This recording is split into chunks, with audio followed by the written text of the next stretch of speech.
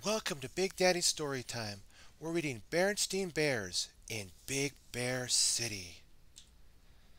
The ride from Beartown was lots of fun. Now our city visit has just begun. Welcome to Big Bear City. Lots of stores. Stores galore. Everywhere you look, a store. Behind these doors, even more. When it comes to crowds, Big Bear City takes the prize with bears of every shape and size.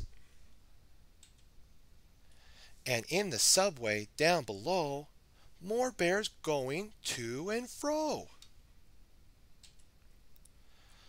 Mama, Papa, look over there. Isn't that a burger bear? I really need a burger, please. One with pickles and lots of cheese.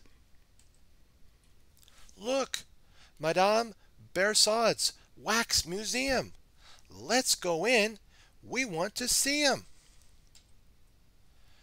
Genghis Bear, Queen Elizabeth, Black Bear the Pirate. It's time to leave Big Bear City. What a shame. What a pity. It's nice to visit. It's nice to roam. But it's also nice to head back home. What have we learned today, my friends? We have learned from the Berenstain Bears that Big Bear City is a really big place. Also, we learned that enjoying Big Bear City with family and friends is important and precious. Be sure to like, favorite, and subscribe. Stay tuned for more Big Daddy Storytime.